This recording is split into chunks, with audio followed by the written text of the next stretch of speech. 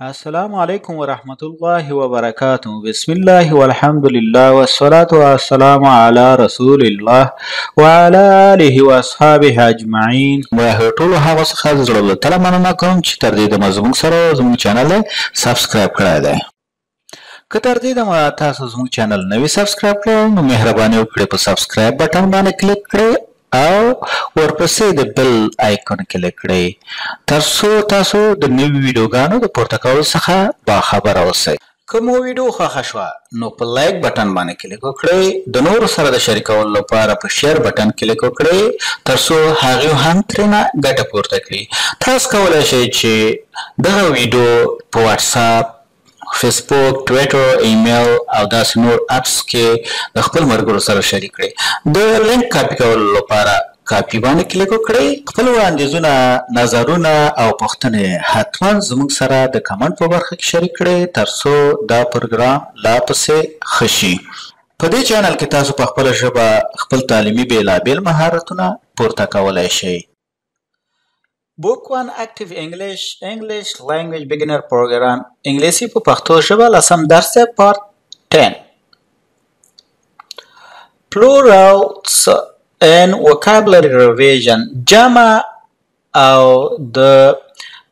د لغاتونو بیا کتنه یعنی د تیر لغاتونو بیا کتنه مثلا دا درسونه ټول دا لغاتونه ویل خو دلته مثال مونږه چې کو د جمع حالت د هر یو یو اوس ګوره نمبر 1 تر از 1 ټریک یو ټریک 2 2 ټریکس 3 3 انیملز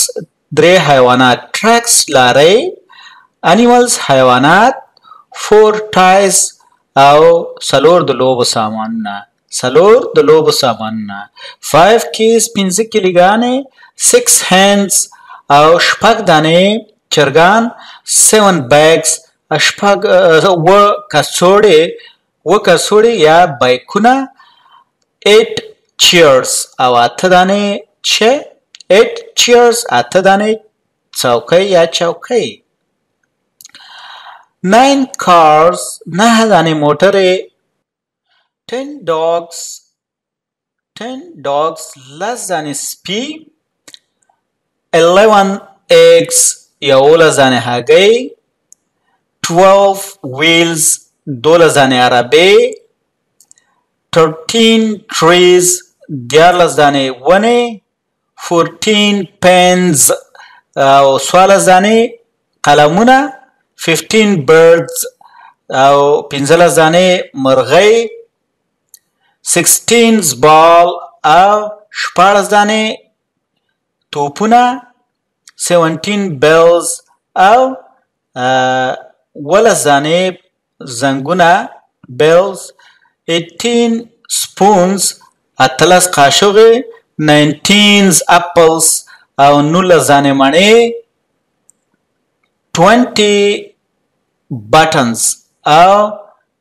شل دانې تڼۍ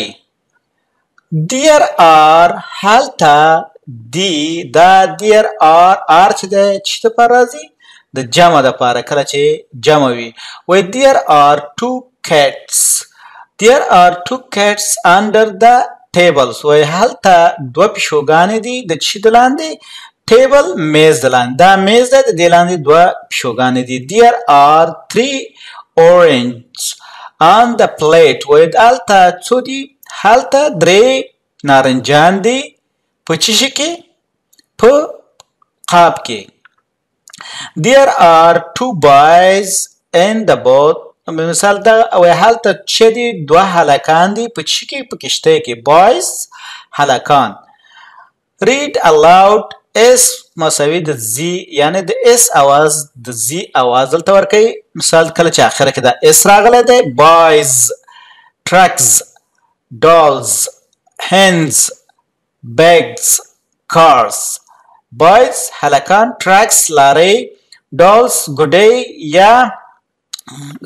د لوبو سامان هینز چرګان بیکس بیکونه یا کڅوړه کارز موټرې اوس راځو اته څلوېښتمې پاڼ ته یا صفحې ته دلته دی وای دیر از دیر از د مفرد د پاره راځي او دیر آر د جمع د پاره راځي آر د جمع د پاره راځي از د مفرد د پاره راځي وای دیر از ا کلاود ان د سکای وای هلته ورېز ده په چش کې په اسمان کې دیر از ا بوک بیهایند د رادیو وای د د دې رادیو شاته بیهایند شاته یو څه ده کتاب دی کتاب دی وې دی رزبو کلته یو کتاب دی بیهایند د رادیو د رادیو شاته دی راځو دریم انځور ته دریم عکس ته وې دیر از ا ټری ان د میډل اف د پلی ګراوند وې هلته یو ونه ده اټری یو ونه ده ان د میډل په منځ د چکی د میدان کې د لوبو په میدان کې دغه ونه ګوري وې دا په منځ د لوبو په میدان کې ده څلورم عکس ته راځو وای دیئر از ا کلاک وای هلته یو چې دی ساعت دی ان فرنټ آف د پکچر وای مخکې ان فرنټ آف د پکچر مخکې د انځور یا د تصویر دیئر از ا هاوس ا هاوس at the side of the road وې هلته یو کور دی په خوا د سرک کې دا ګوره سرک دی او دا کور دی یعنی په خوا د سرک کې اوس راځو is there is there د سوالیې د پاره کارول کیږي وې is there a book on the table وې هلته آیا هلته یو کتاب دی په میز باندې دا ورته yes there is هو هلته دی there is A book on the table و دل آلته یو کتاب دی په میز باندې رازو دویم تا دویم پختنې تا و is there a picture on the wall و هلته یو انزور دی په دیوال باندې دا دیوال ده دا یو انزور دی دلته ګوره سوالیه ورته ایښودل شوې ده نو دا پوښتنه ده و yes there is او هلته ده there is a picture on the wall او هلته یو څه ده هلته یو انځور دی یا تصویر دی په دیوال باندې وال دیوال ته وي پکچر انځور ته یا تصویر ته وي نو راځو بیا وي چې دریم ته راځو دریم کې وایي چې اس دیار ا کټ کټ آن د ډیسک په دې ډیسک باندې یا د دې میز باندې دفتري میز باندې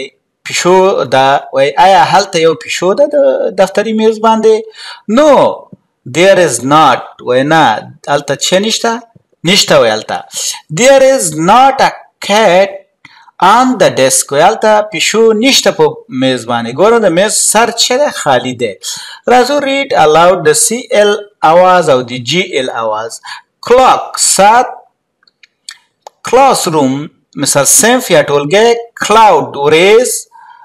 کلین پاک ګلاس ګلاس ګلاسز ګلاسونه راځو پنځوسمې صفحې ته دلته وایي چې ریویژن ټیسټ 5 د بیا کتنې ازموینه پنځمه ازموینه مثال دلته دا دلته عکس ده او دلته مثال answer answer the questions is there a man in the boat وای آیا هلته یو سړی شته په چشکې کشته کې دلته وګوره دلته سپی دی دلته سپی دا سړی دی وایي هلته یو سړی په کښتۍ کې شته دی دا ورته چې یس دیئر از دیئر از ا مین ان د بات وایي او هلته یو سړی دی په چی کې بات کښتۍ کې از دیئر ا هاوس ان د میډل اف د ریور وایي آیا په منځ د سیند کې دا سیند دی اخوا سین نه ده دی خوا سین ده وای از دیئر ا هاوس ان د میډل اف ریور دا ورته چې نو دیئر از نو دیئر از ناٹ وای نه هلته نشته دیئر از دیئر از ناٹ ا هاوس ان د میډل اف د ریور وای دلته هلته یو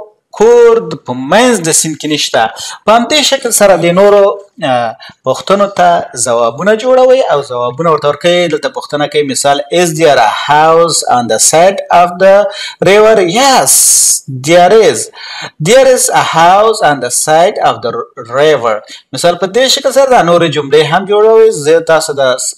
پښتنې یو ځل تکراروم نورې به تاسو ورته په خپل جملې په خپل کتابچو کې جوړ کړئ او تکرار کړئ از دیر او او مین ان د بات و یا هلته خزه په د کشته کې شته ده وګورئ چې شته که نشته از دیر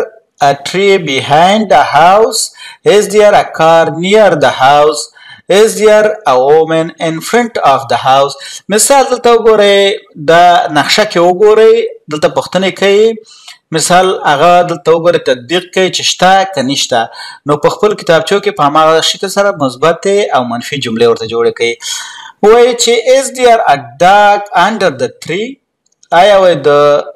ونې لاندې سپی شته که نشته رازونه هم پوښتنه ته وای از از دیار ا کلاود ان د سکای آیا وای په اسمان کې ورېز شته الته په اسمان کې ورېز شته هایا الته په اسمان کې ورېز شته از دیار ان ایروپلان ان د سکای آیا په اسمان کې څه شته ده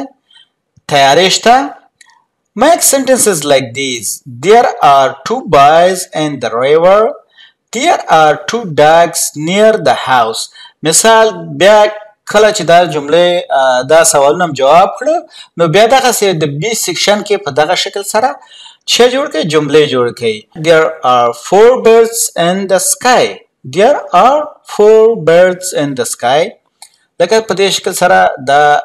پوښتنې او ځوابونه چه کوي جوړ کوي جملې جوړې کوي ویر از چیرته ده مثال دا د سوالې د پاره پکاريږي دا د مفرد د پاره ویر ار د جمع د پاره ویر از د سټون و چیرته تیګه It is under the desk و هغه د چی د میز لاندې ده وی ویر از د کپ و چیرته د پیاله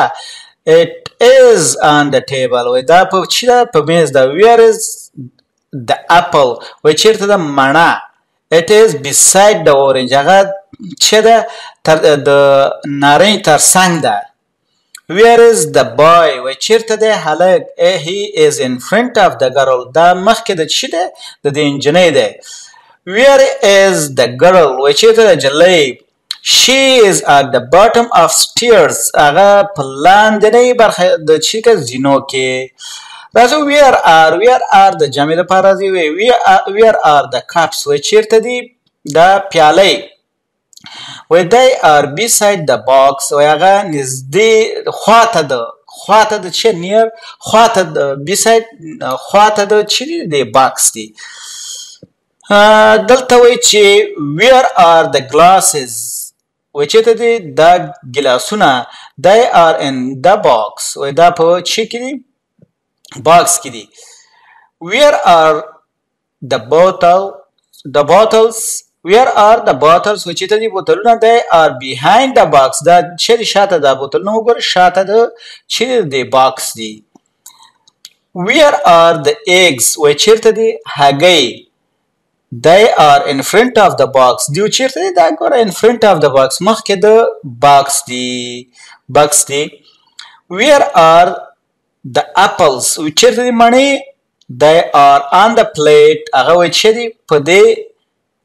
پلیټ کې دی قاب کې دی دلته په قاب کې دی په قاب کې دی ریډ الاوډ اس ټي د اس ټي اواز سټار ستوره